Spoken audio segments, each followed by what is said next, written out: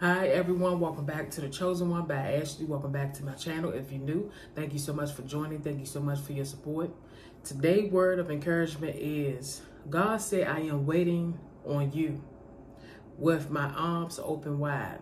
You know, some of you are going through a lot right now. A lot of you are feeling discouraged. A lot of you feeling afraid. A lot of you having a lot of anxiety. A lot of you are feeling like you can't move forward.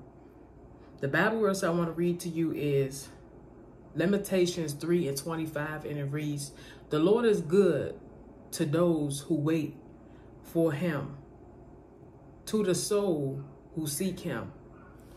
Whenever you're going through anything in life, whether you're down or up, always pray, always put God. Just surrender and say, Lord, it's me. I need you. We all need God. In spite of whatever we going, whatever we going through, we need God to help us to get to that finish line, which is heaven. You need to understand that God's arms are open wide for you. When you think that God is not listening to you, he is. God listens to everyone prayer. God watch what you do, what you say, how you doing it. And you have to be very careful with your words. You got to be very careful how you doing things because God is listening to you. God arms is open wide. He always say, come to me. I'm here. God arms are open wide. And we have to be able to get serious. I don't care what's going on in this world. R&B, music, sex, fornication, temptations, whatever going on in this world. Don't get lost because you didn't go to God. God warned you, God told you to come to him.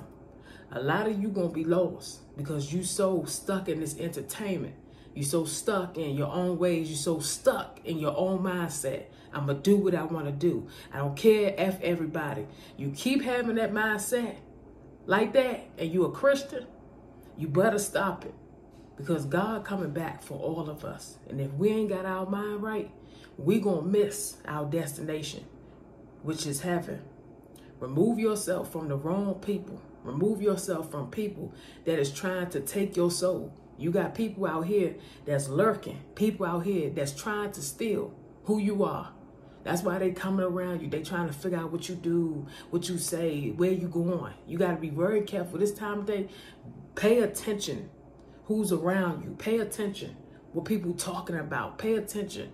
Anytime you got a friend that's too close to you and they trying to figure out everything about you, you better watch those type of friends.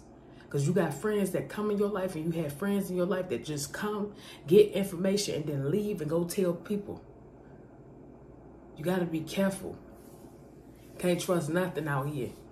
Everybody not your friend. Everybody can't be trusted with your information.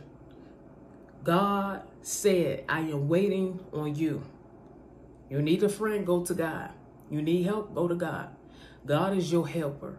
God is your provider. God is your waymaker. When nobody is helping you, when nobody is doing anything for you, go to God and know that God got your back. His arms is open wide. Keep seeking the Lord. Keep knocking and watch that door will be open. God will clear your name.